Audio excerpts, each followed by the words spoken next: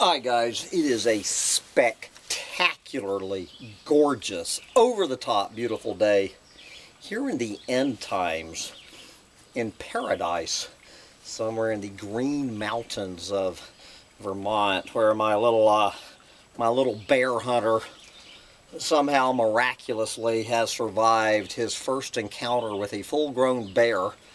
Good God, little dog. Anyway, after all that excitement, it is time to get back to reality since it is now Friday morning, June 29th, 2018.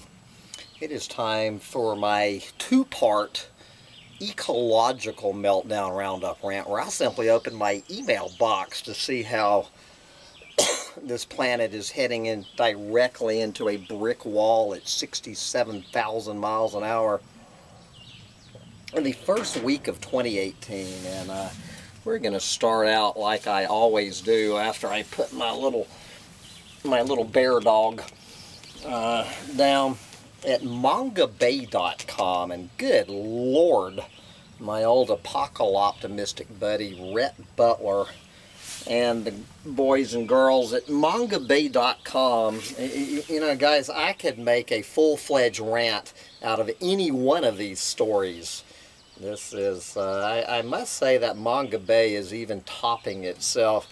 And of course, since they are centered on tropical rainforest, obviously their lead-off story I've already mentioned from the mainstream media.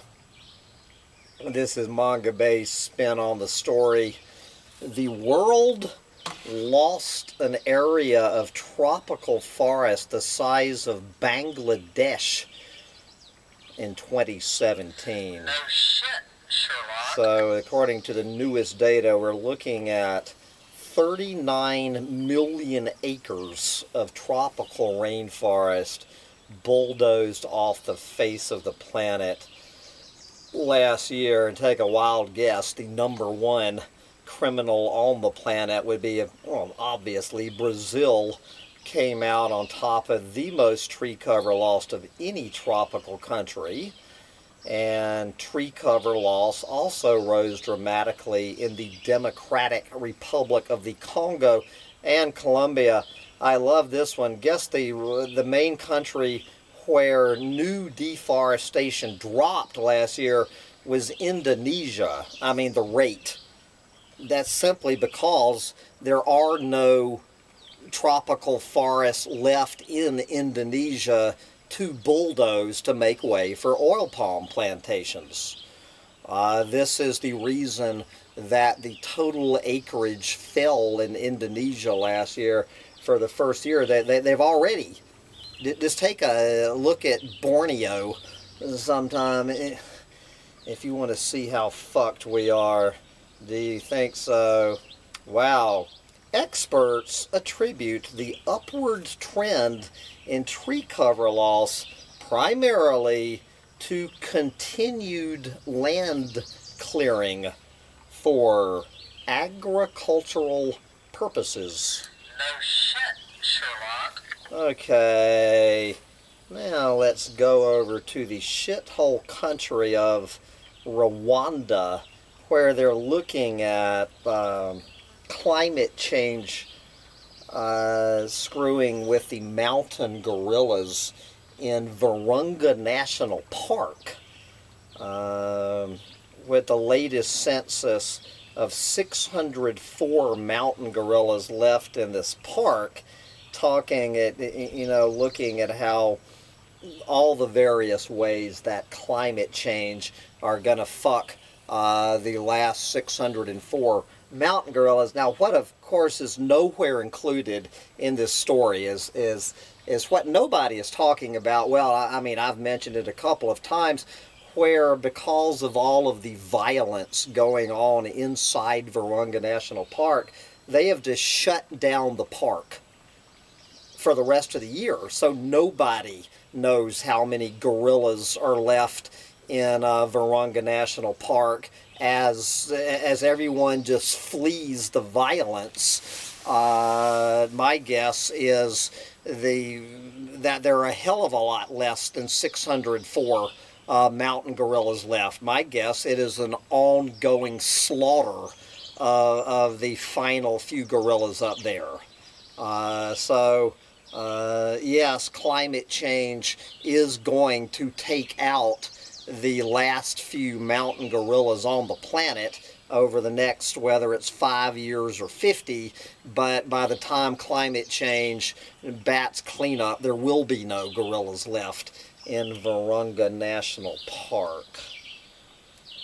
Jesus. Uh, anyway, so goodbye to the mountain gorilla from the shithole country of Rwanda to the shithole country of Madagascar, where we're seeing a, a repeat of what happened in Houston, Texas, with Harvey, this big ass cyclone slammed into this giant mine. And I think is this is the the uh, Ambatovy mine complex, a massive operation to extract nickel and co cobalt, was, you know, was slammed by this giant cyclone.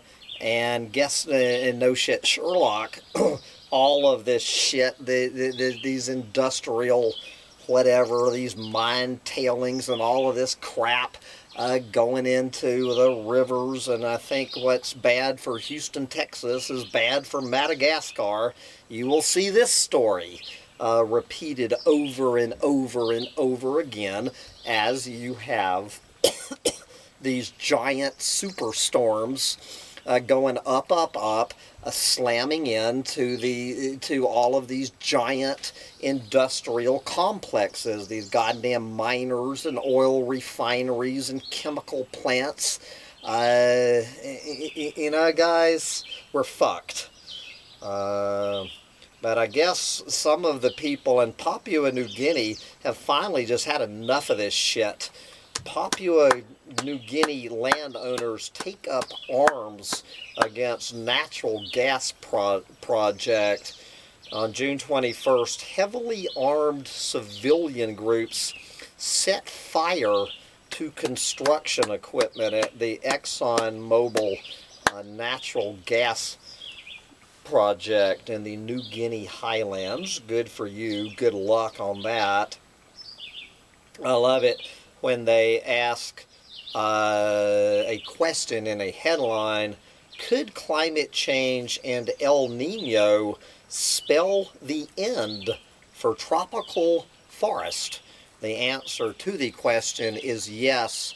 Climate change, particularly uh, with the rising number of El Ninos, sure as shit could and will spell the end for tropical forest. And, you know, pointing out, uh, as we've mentioned, which I think was one of the biggest uh, climate change stories of the year, barely mentioned by anyone, is how the tropical rainforests have already gone over a tipping point and they're no longer absorbing uh, carbon dioxide from the air. They're actually now a net producer of carbon dioxide. And it's this vicious feedback loop going back and forth. Um, and the, when the next El Nino comes along, and they're coming along more and more rapidly, it's going to make uh, the one from 2016 look like a walk in the park. Um, there you go. Scientists worry that a new tipping point could be reached where tropical forests collapse just entirely uh, yeah, we've already passed one tipping point, and this is the obvious next one. Okay, this next story, uh, I, I knew it was coming. Uh, I just didn't know what form it would take, and this is this uh, this look into uh, how Donald Trump's trade war is going to ramp up deforestation in the Amazon. Uh, it's already showing up as, as, Donald Trump puts all these tariffs against U.S. soy and beef against China, where the hell do you think China is going to turn for for the soy and beef that the U.S. is now supplying them? They're going to Brazil to buy their soy and beef that does not have these tariffs. And, and take a wild guess what that means is that the soy industry and the beef industry and the Brazilian Amazon is cheering on Donald Trump's trade wars because it is more money in their pockets. Uh, good Lord. Uh, the Amazon and the, and the Cerrado are already major exporters of both commodities and even before the trade war, we're creating a boom in infrastructure construction to bring those products to Chinese markets. Uh, and even without the new trade war, experts expect Brazil to pass the U.S. this year as the world's largest soy producer. And there you go. Uh, and if, well, not if anymore, as the U.S. China trade war results in a significant surge in Brazilian commodity production to answer demand in China, deforestation rates there could soar.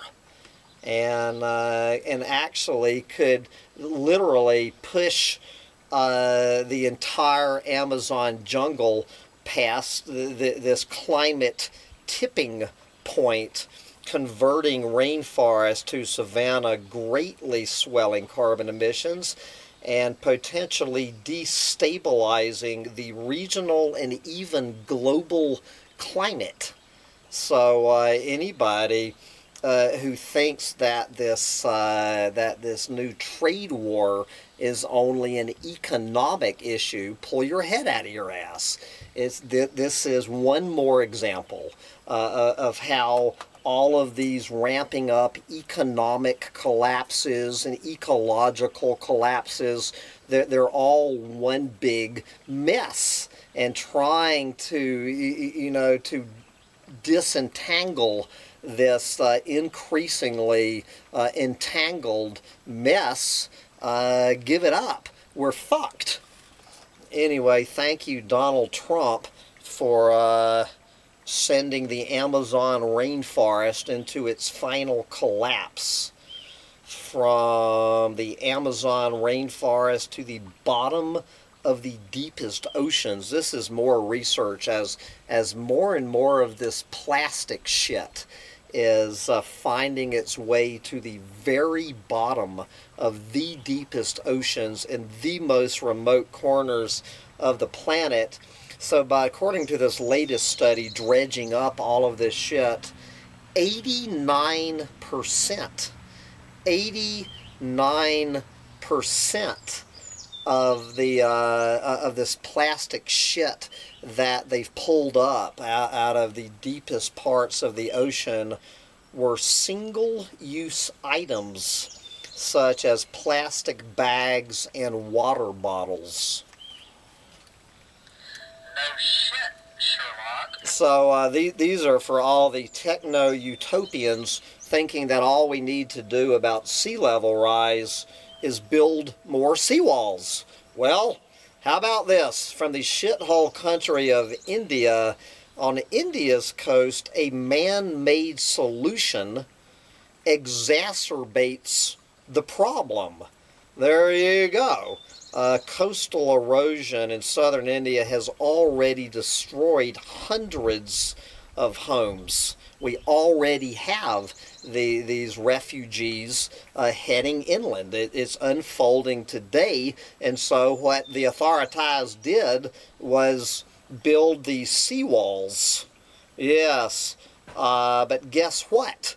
Uh, their goddamn little seawalls is actually making the problem of coastal erosion worse than it was before they built the seawalls. No shit, Sherlock. Okay, let's go to one of the most important ecosystems left on the planet.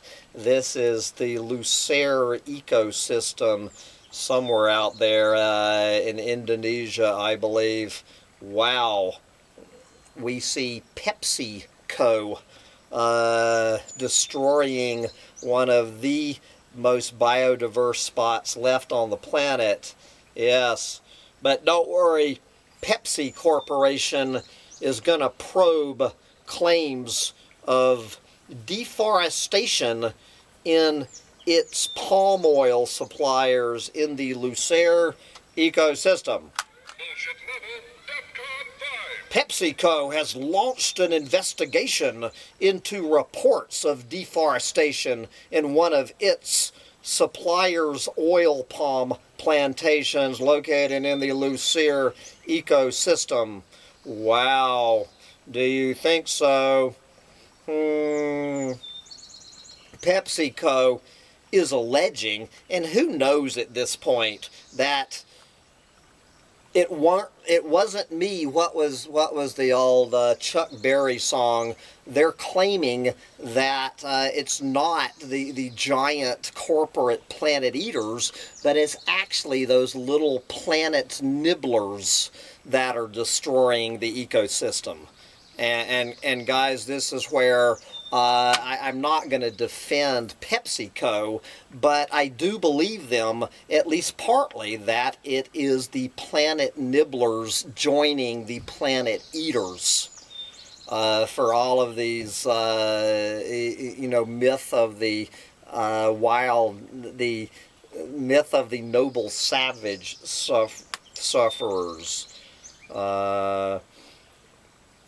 PepsiCo has recently updated and expanded its policy on sustainable palm oil, Come on now, that ain't even bullshit. That's horseshit. which has been criticized by environmentalists for failing to ensure the elimination of forest destruction and labor rights violations.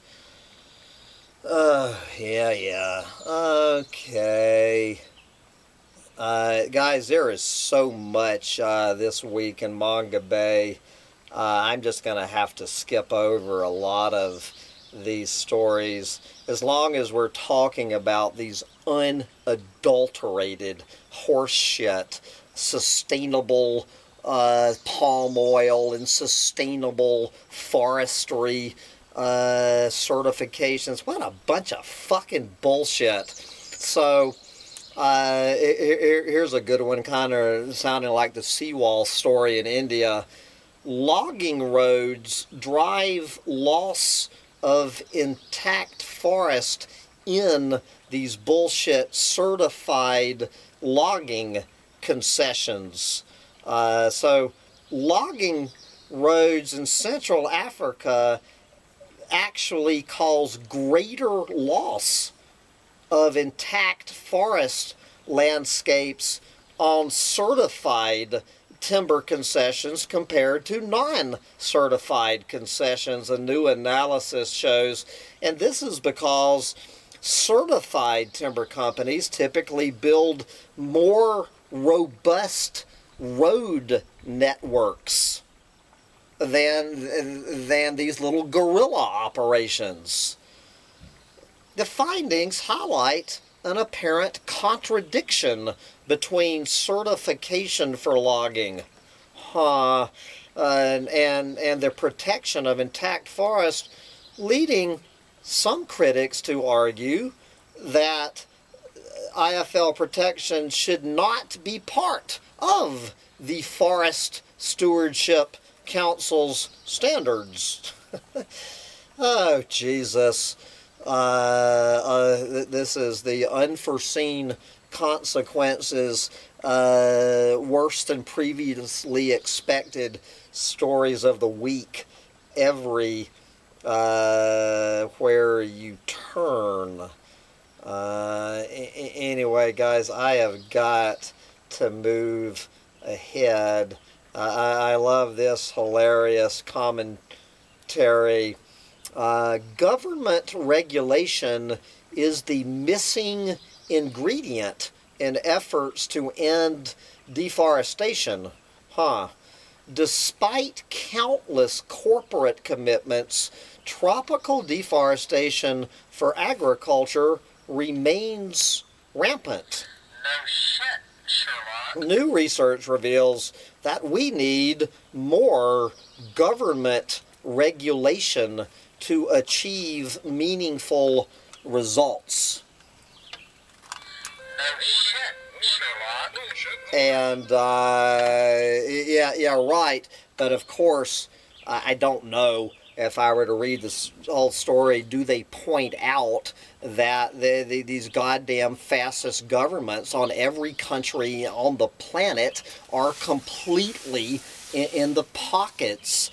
Uh, uh, of these goddamn planet eaters. I'll talk about this in another story in a minute. Uh, You know, mentioning how how the goddamn European Union, as I talked about last week, uh, you know, backwalking on its uh, palm oil commitments where just uh, just last week the goddamn European Union bowed to pressure from from these goddamn uh, oil palm uh, producers. And, and if the fucking European Union ain't, gonna stand up to these motherfuckers, uh, what, what do you think is gonna happen in, in, in Indonesia and Nigeria? Uh, you know, pull your head out of your ass. All right. Let's see. Where the hell am I? I'm losing my place in this never ending uh, laundry list. Here's a, a, a new research. I think I'm going to mention this in part two of this rant uh, about light pollution. I've talked about this. This is talking about all of this new research, uh, talking about uh, LED lights, which. Uh, you know, I've mentioned this before. I'm not. I can't get into a Jevons paradox rant.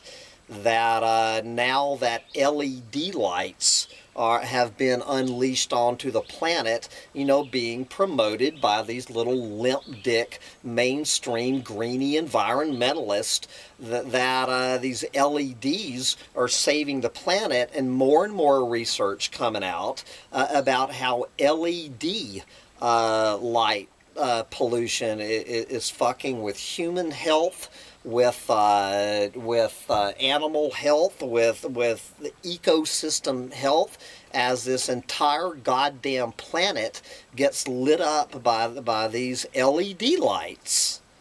Uh, these save the planet LED lights are actually fucking the planet more than the lights uh, that they were meant to replace. No shit, Sherlock. Yes. Uh, wow. How about this one? Uh, talking about this, uh, uh, all of these, these green. I'm getting so fucking sick of this corporate greenwashing. Uh, maybe I need to interview this fellow Bill Laurance, a tropical ecologist at Australia's James Cook University. Uh, argues that scientists scientists should work to slow the pace of infrastructure development around the world. While many of these giant infrastructure projects are viewed as wholly positive because they're intended to connect markets and create jobs, a lot of them, quote, should not happen, Laurance said. No shit, Sherlock. Y- Yes, so uh, we're we're going to let the scientists uh, turn this freight train around. Oh God! Here's a story out of the shithole country of Honduras, about some indigenous tribe down there being fucked by some planet eater. Uh, okay, uh, th- this is the update from last week's uh, title story about Indonesia. You know, said Indonesia setting this new sustainability course for its infrastructure development. Bullshit detected. Take precautions. So, in hand with that, Indonesia turning to green to green finance for development projects. Indonesia, one of the world's biggest greenhouse gas emitters, is now turning to green finance markets to fund new development projects it promises will be both environmentally and socially friendly. Bullshit level. DEFCON 5. In issuing these green and sustainable bonds, Indonesia joins a growing number of developing countries seeking to appeal to clueless fucking limp dick mainstream greeny environmentalist uh, blah blah blah but people with brains question just how green and sustainable these bonds really are highlighting their concerns about corporate greenwashing No shit, Sherlock. You know, don't get me going. It's these goddamn little limp dick, uh, greeny mainstream environmentalist uh, swallowing one fucking word of this bullshit. Uh, they- really almost make me uh, uh, as sick as the goddamn Donald Trump flag wavers. You know, these deluded, clueless fucking morons. Anyway, so uh, so we've been talking about Indonesia's new commitment to all of this green, sustainable development. Uh, so I, I had to get a sick, twisted laugh out of this story. In Indonesia's coal heartland, jaded voters weigh the same old candidates. Years of rampant natural resource exploitation and mismanagement in East Kalimantan, the coal mining heartland of Indonesia, have resulted in voter apathy as the province goes to the polls for a new governor this week. All of the candidates are veteran local officials. Most have already been implicated in corruption cases, fueling a sense that there will be little improvement in the man don't you do it in the management of the province's mines regardless of who wins. Environmentalist activists say none of the candidates are concerned about the environment, with no programs on environmental conservation in any of their stated campaign platforms. No shit, Sherlock. Yep, thank you for that taste of reality. Uh, anyway, here is a story on how new seaports are imperiling Colombian crocodiles. No shit, Sherlock. Here is a story on the last glimpse of a Cambodian paradise, documenting an area on the eve of its destruction.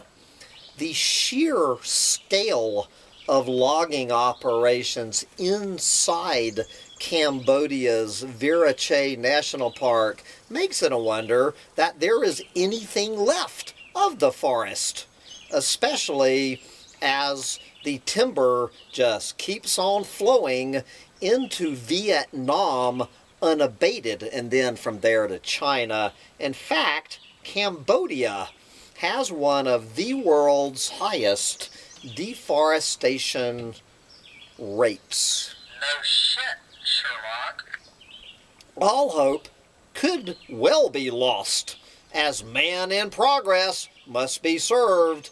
But are the nails firmly placed in the biodiversity coffin and awaiting the final pounding? Perhaps not. Bullshit. That's horse shit. Oh God! Uh, from the shithole country of Cambodia to this absolute unadulterated descent into hopium-fueled apocalypticism, coral reef oases that thrive and amid threats give hope. Give hope for conservationists. Warning, warning, bullshit alert. You know, I was just talking about how the UN has taken the the the coral reef off of Belize, off of threatened World Heritage sites. Uh, uh, my, I, I, I don't even, don't, don't even get me fucking going. All right. Uh, wow. Imagine this. As Colombia expands its palm oil sector, scientists worry about wildlife. Hmm. No shit, Sherlock. Colombia's aim to overtake Thailand to become the world's third largest supplier. Ah, God, don't there are there is no bear hunting left here, Sancho. You say, Pop, it's a chippy. It's not a bear. I don't know if it's a bear or not. Anyway, my little bear hunting dog is seeing something down there in the woods. He needs to go investigate.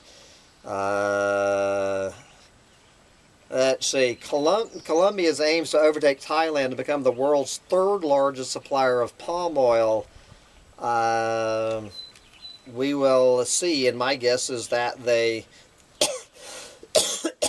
they will. Do you believe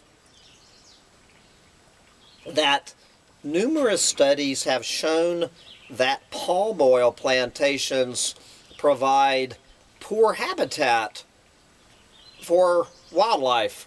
Hmm, never thought about that one. Um, anyway, guys, I'm just going to wrap it up there. I could go on and on, but I got to go save my little dog from being eaten by a fucking bear. And uh, I got to get around to part two of this rant uh, after I pull my dog from the jaws of a bear we, we, are we're so fucked. We are so fucked in our little garden of of flowers. There's actually a a story somewhere looking at uh, using uh, treated wood for window boxes. I mean, we're fucked everywhere. Starting at your window boxes. Be back with part two as soon as I go find my little dog. Bye, guys.